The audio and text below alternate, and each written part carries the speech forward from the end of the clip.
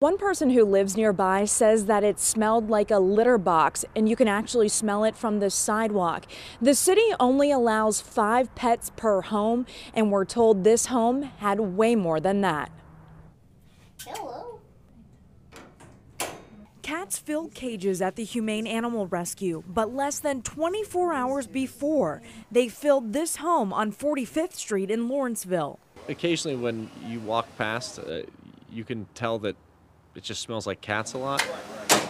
Pittsburgh police originally responded for a domestic situation. After going into the house, officers called Animal Care and Control to help out. Four and 7 11 plus 9, 20 so far. They set traps and took most of the cats away. But they're really stressed out um, and really in, in sick, bad condition, unfortunately. Dan Rossi says most of the cats have upper respiratory infections, some are pregnant, and one was euthanized. You start adding animals like this, and you're not saving them, they're actually hurting them, as you can see in this situation. Police say a woman in her 70s lived here. Paramedics took her to the hospital Friday night, but when Pittsburgh's Action News 4 stopped by, she was out of the hospital and didn't want to talk.